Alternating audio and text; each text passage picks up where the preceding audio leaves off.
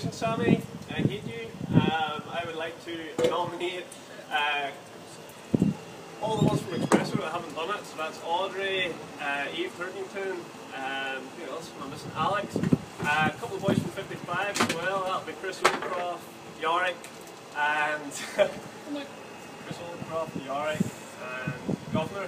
Let's go. Uh, a No, couple no, of my mates, turn, Calvin my turn. Locke and uh, Stuart Dobbs. Um, I'm, I'm going to nominate uh, Amy Nicol, Caitlin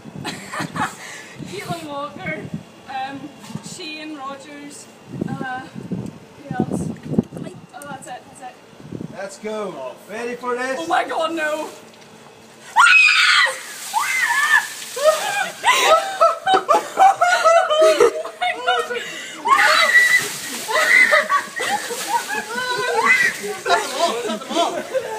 Finish it off, boy. Finish it off.